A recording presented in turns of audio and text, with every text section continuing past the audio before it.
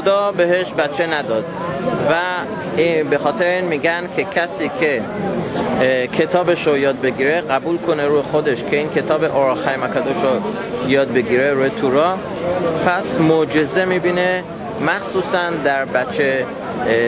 بچه دار بشه و همونطور هم در چیزهای دیگه از چی میگن؟ متعهل شدن ازدواج کردن همسر پیدا کردن و چیزهای دیگه. خیلی معجزه ها خیلی داستان های معجزه هست راجع به این موضوع. آدمایی که روی خودشون قبول کردن هر روز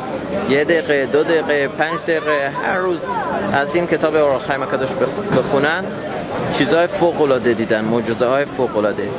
ان از خودش مگن باشه واسمون که به ذات هاشم به زودی گروگانا زنده آزاد بشن سربازای اسرائیل سلامتیشون باشه و همه قوم اسرائیل و همه دنیا صلح و صفا ببینیم به زودی و اومدن مشیخ تیدکنو امن و امن